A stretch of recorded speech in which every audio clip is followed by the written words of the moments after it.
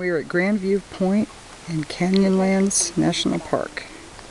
Well, We don't know. no, well, the, the Colorado River flows right by Moab, right? Right.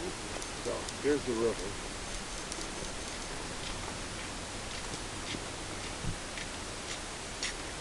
Oh, look at that car is fearful to go down that rock.